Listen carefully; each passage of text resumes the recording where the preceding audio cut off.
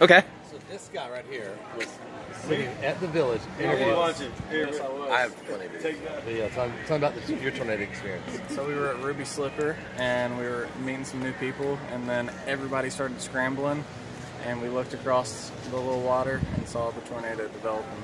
It's crazy. Wow. I saw a tornado and I put it in the headlock and I beat it. That's funny.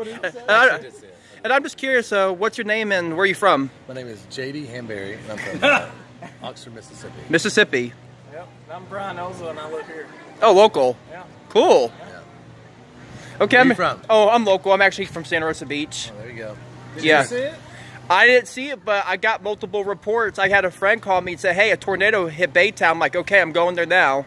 You should go to Crystal Lake if you want to see the damage.